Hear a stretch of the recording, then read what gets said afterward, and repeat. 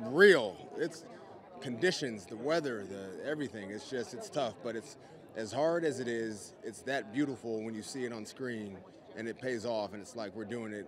It's it's all making sense. To me, it's this is the pinnacle of what television should be, and it's a movie experience every time you get on the couch and watch it. And we're bringing it to you in your living room every week, and it's going to be, yeah, I think that they're going to gravitate towards it, the audiences. And when you're little, you don't really realize you don't see a lot of people that look like you. You just love cowboys and horses, and and so you get older and you have the opportunity to bring life to a character that you didn't see growing up. So kids like me that are coming up now could see that and have a sense of pride, like we were cowboys too, and that means something. I get emotional when I, you know, when I start thinking about it. I hope this is just the beginning for more stories to be told from people that look like me. Yeah, only for mama. I'm did it for mama. Amazing. Thank you so much. Thanks for having me on. Have a good night. Thank you. Thank you. Well, you know, it's always kind of a stylized version of the Old West, it's kind of a mythical view of it. Yeah, right? I know. Yeah, it was kind of shocking walking to the front door of the hotel. Yeah, it was like uh, we were in last night. We're like, civilization again. Oh, wow. wow, look at those things. I know. They have running water. yeah. I think the only way to have done this series is to have been completely immersed in the world. Yeah.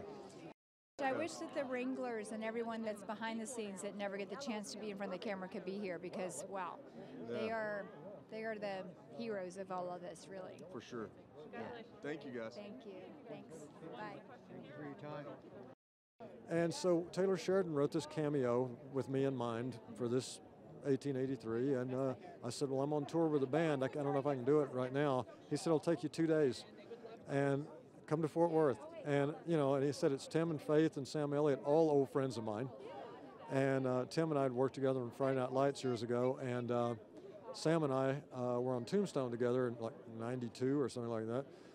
And uh, you know, they're all people that I've kept up with over the years. And uh, so to go down there with old friends uh, and work with a writer like Taylor, who's so great, it's like, why not? You know, you have to be careful about doing cameos. You can't do too many of them. So you got to pick them very carefully. And so this one was absolutely worth it.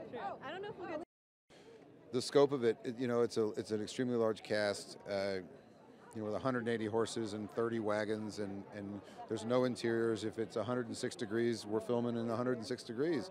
If we're in Montana and it's 20 degrees and it's snowing, we're filming in the snow.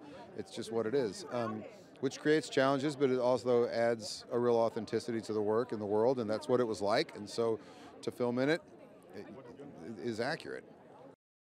Absolutely. I mean, the more real you make it on set, the more real it's going to feel to the actors, the more real it's going to become for the audience. I try to hold the mirror up to, to the world and, and let people make their own decisions. So so hopefully, I mean, you could take a very different message than, than someone else would take from it, and that's the way it should be. I mean, it's given you have to react to what's around you, and a sandstorm does something to you in that sense. And I think, honestly, for that scene, it adds something very special. I think it was supposed to happen because it's a very emotional moment. And in that chaos and electricity, what's in the air is going to add something to it. So I think we're going to look back at it and say it's worth it. For me personally, no. I think it's I think every project is is new, you know, and I think you can never create out of pressure or trying to please anyone. You know, you're just trying to be authentic and truthful, and then it's you throw it out and people perceive it how they perceive it.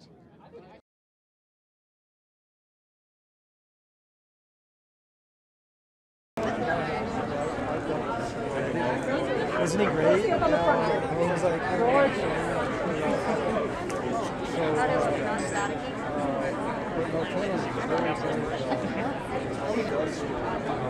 This is phenomenal.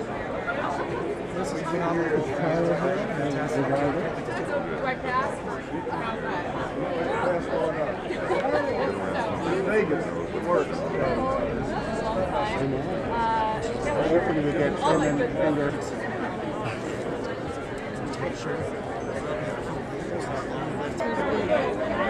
got it.